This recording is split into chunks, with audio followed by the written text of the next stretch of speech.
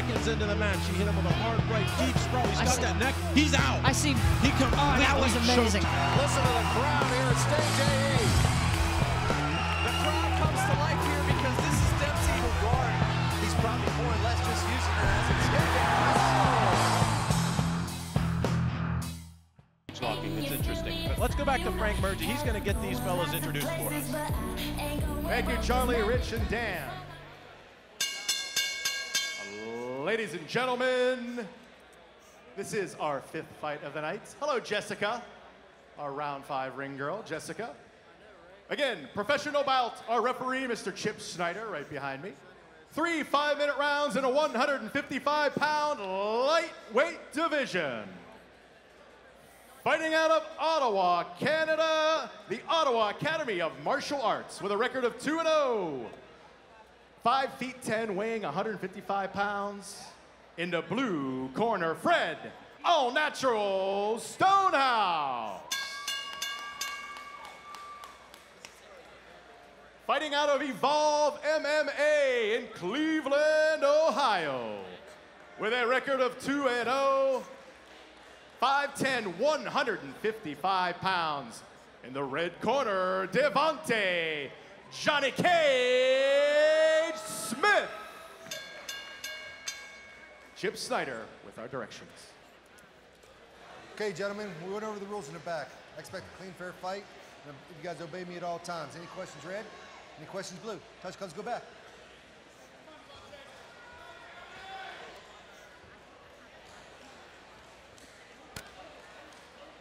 When I spoke with Devonte uh, as Okay, he sir, came in you tonight. Sir, I asked him, "What ready? about Come on, you?" let's fight. It's unusual. And his corner guys right away spoke up. said, He's 22 years old and he still watches cartoons. I says, "I'm a few years older than him, and I still do too." I said something unusual. If that constitutes unusual, I'm in big trouble. Yes, me too. I believe you, Charlie, collect Looney Tune figures. It's actually Scooby Doo. It's Scooby Doo. Action I'm figures, they're not And that- dolls either. I don't know But- how this guy gets up here, Dan. Action figures. I'm sorry, action figure. I didn't think. You didn't say dolls, action but I was just make sure you specified that. When they All right, here we go. Uh-oh. Devonte's not wasting time. Whoa, big takedown by Devonte, and look at this. He's ending up in side control. You could just see the power in Devonte. Yeah. He hit him. He hit Fred with one overhand right. Fred's. He didn't want any part of it. Stonehouse better get some hip movement. He better start laying on that left hip and try to get those knees in between the body there of Devonte, or this could be really short work here. Devonte doing great job. There's the big punches coming in, and good job, good job of Stonehouse getting Devonte back in control. And now uh, working that open guard, and he's going high with it. And Well- they're remember they're not sweating. Oh, he's got the arm. Devonte looks like he's nervous here in this position. Well, Stonehouse is a sit out. BJJ specialist as well. As you can see, he's doing a very nice job transitioning. Oh, he almost completely rolled it. He now it's the triangle choke. This could be deep. He has to come over. There you go. He's stacking it nice and high. Devonte needs to push in and try to get separation there. But this is really tight. You can tell. Fred, Fred needs to lift his hips up, knock that left arm across the body to tighten that up. Yep, you can definitely see Stonehouse doing a very, very good job there of controlling. Well, Devonte's doing a nice job. As you see, he has that left arm pinned behind that leg, and it's giving him space to breathe between Fred's leg and the and the neck of Devonte. It's giving him space I'm- to breathe. and I was just going to say, bring the elbows. I'm a big proponent. Throw those elbows when you have the guy's head trapped. Forget that submission. You got it locked down. Work those elbows and get that early cut going on in the fight. Well, Devonte's trying to get trying to get Stonehouse's neck out of the cage, against the cage, which that's perfect. That's exactly what you want to do. You want to get up there and you want to stack on top of his neck. take away that separation so it really crowds your opponent. And now you can see Stonehouse is getting to an angle here, which makes this submission a lot tighter. And Devonte's throwing some punches. That mean, may mean it's getting even a little bit tighter, but Devonte hanging in there very well. This, and he's doing a good job of keeping pressure. It seems like he's going to break this very soon. Chip's not going to stop this fight up and or stand this up in this See position. right here, he just he, just didn't have mounted to. him. He just and he just posted up and he stood up and Oh, they started raining big right hand down. by Devonte. You could hear that one thunder through the building. And now look, Stonehouse is going for that leg lock. We mentioned about how so many more people are training these legs, and Chip Snyder watching very closely. He's very astute. Oh, if I Oh, was no, Devonte, that's dangerous. I wouldn't have jumped for that. He's trying for a heel hook of his own, but I, oh, Oh, someone's nice cut. job. Someone is now cut. It may be coming from the mouth of Stonehouse. One Yes. of those big shots may have His lit him mouth. off. Well, Devonte's landing those power Oh! right hands, and oh! he's Oh! done. Out. Devonte Smith with power and authority here. rushes on. down on Fred Stonehouse, and he is out cold. And he brings his record to a 3 and oh. 0. Oh, Stonehouse is a bloody mess. What power Devonte Smith possesses. Hey, My gracious. Oh, that was such power in that behind that right hand. He was he grabbed him by the neck of his left hand, 309. What? held his head there, and rained down punches. What? That was brutal. What Hey, ferocity of punching power, and that was from a 155 Yeah. pounder, Rich. Wow. He's somebody to watch right here.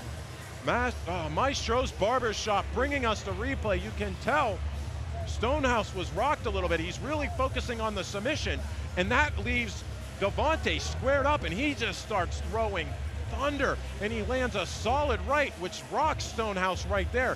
Follows it up with another powerful shot, and then Stonehouse is kind of out of it, and then followed up, and that last one was punishing and completely leaves Stonehouse just unconscious. He was out of it. He he's still out of it. He is still on the ground. I really hope him well. I hope he gets up. I hope he recovers well. I know that had to hurt. Like we were just talking about. There's no. eh, the, the brain recoiled When I tell you to stop, off of his skull. We got a great medical staff here. It looks good. I think I see some movement of the hands of Devonte.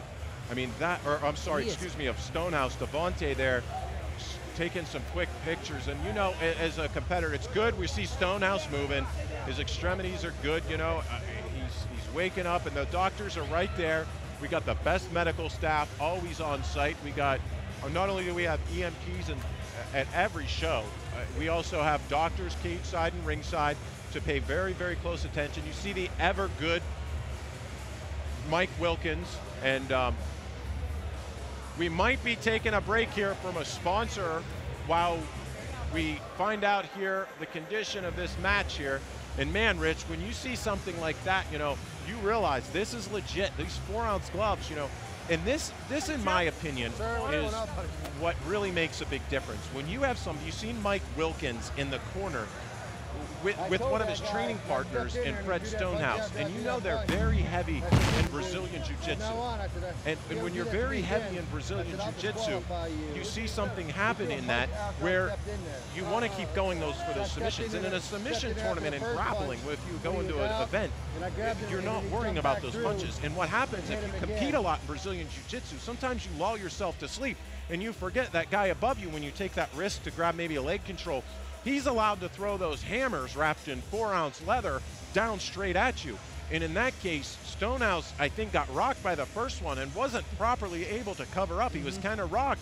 And by the, and, and Devonte recognizing that one after the other, a, a brilliant display of power and, and patience waiting for that and escapability of getting out of the mm-hmm. submission yeah. attempts, Rich. Yeah, he did a nice he did a nice job getting out of the submission. I think it was actually the second hammer fist. I think Stonehouse was pretty was out there, Yeah. and it's hard for Chip Snyder to tell. You can't really tell, and you want to give everybody a fighter's chance. But that's it. That Devonte Smith, I believe he's from Evolve MMA in Ohio. That's a dangerous fighter. That was power displayed behind those punches. Yeah, he they- is somebody to watch out for. Yeah, no doubt. And that, you know, at 155 pounds with that kind of power, it's scary. You know, going up, I, I look at that and I'm like, man, he's in phenomenal shape, great conditioning. But something that really stuck out of me about Devonte was his poise. He was mm-hmm. very, Yeah. very poised. He found his positioning before he went for the big strike. He found his range to get out of submissions before he attacked. He found positioning before he landed his attack. And I think that is an essential key that a lot of young fighters can learn.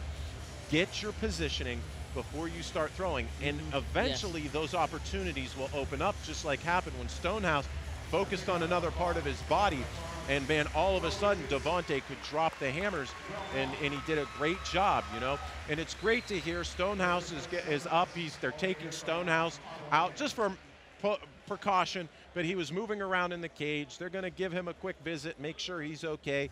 And, um, you know, that's the great thing. We have one of the best medical staffs on board here with Gladiators of the Cage, and they're always ready. We have the best doctors right here, so they're going to check him out. And I have a feeling Stonehouse is going to be okay. We'll keep you updated through the show to the fans watching there and let you know his recovery hopefully uh, in a little bit. But wow, what a great, great showing by Devonte Smith. Let's go down and get the official announcement now with the man standing in the cage. Ladies and gentlemen, at three minutes and one second of round one, I knock out in the red corner, Devonte Johnny Cage Smith. Turn it over to Dan Bogan. Thank you, Frank. Devonte, I got to know what makes you mad because I don't ever want to make you mad. People hit me. Uh. hit me, I hit you back, but five times harder. I think we're going to be all right then. That was vicious. Congratulations. There's got to be some people you want to thank. Uh, first off, I want to thank my coaches, uh, John Cook, uh, Jay, Chris uh, Lozano, Demetrius, Moses.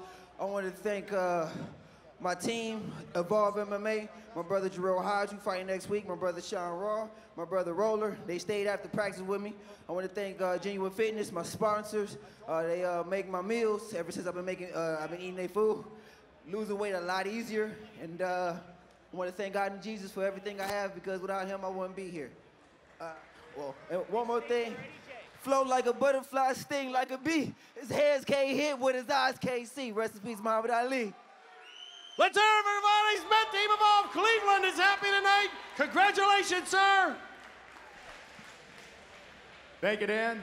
Quick announcement of uh, we're gonna have our fighters Ethan Goss and Chase Rowden. Ethan Goss and Chase Rowden. Check in down at the ring down here. Ethan Goss and Chase Rowden. Check in with us down here at the ring. I, I'm going to say this, Rich. When they stepped away for us a moment, we literally looked at each other and we said, wow. Unbelievable power, unbelievable performance. And as the night goes on here, it's hot outside, but it gets it is scorching inside. These fights are awesome, and I, we thought that this card could be maybe not so far only the card of the year so far, but this is a candidate for maybe being the fight of the year in any promotion in our area. What a great show so far, and we, we still got five fights. We got a couple title fights on the way, and we're going to bring out the big guys a little, little bit. But before we do all that, we're going to take a moment, take a quick intermission before we get back into the fights. So grab a cold one, relax, check out our sponsors, check out GOTC.com, check out AssassinsMMA.com, and see if you find something you like. And we'll be back with you in a few short moments to get the show back underway.